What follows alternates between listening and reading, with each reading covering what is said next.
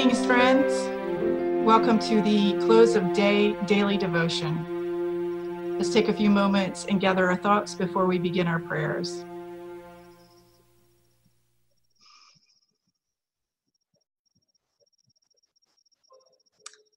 Psalm 134 Behold, now, bless the Lord, all you servants of the Lord, you that stand by night in the house of the Lord. Lift up your hands in the holy place and bless the Lord. The Lord who made heaven and earth bless you out of Zion. A reading from Jeremiah.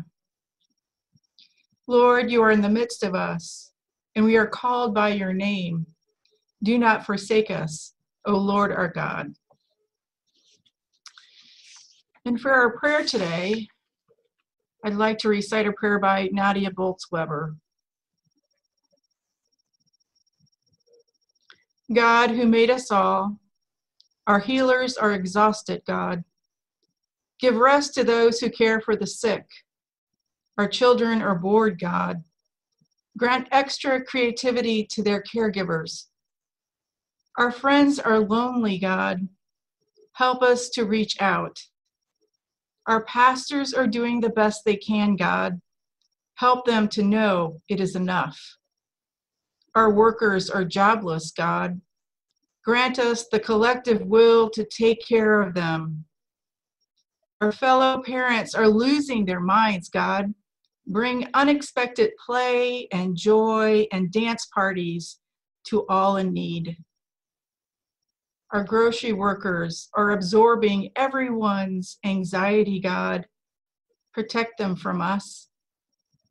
Our elderly are even more isolated, God. Comfort them.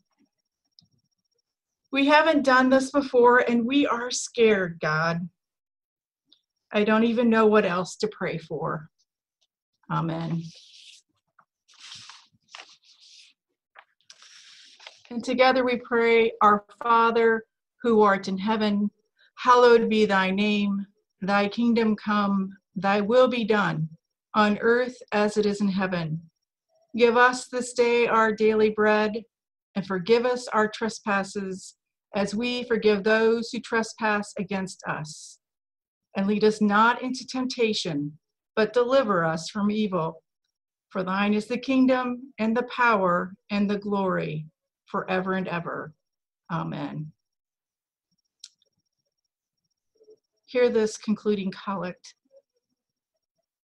Keep watch, dear Lord, with those who work or watch or weep this night, and give your angels charge over those who sleep. Tend the sick, Lord Christ. Give rest to the weary. Bless the dying. Soothe the suffering. Pity the afflicted shield the joyous, all for your love's sake. Amen. Visit this place, O Lord, and drive far from it all snares of the enemy. Let your holy angels dwell with us to preserve us in peace, and let your blessing be upon us always, through Jesus Christ our Lord. Amen. And the Almighty, merciful Lord, Father, Son, and Holy Spirit, bless us and keep us. Amen. This concludes our daily devotion at close of day. Thank you for joining us.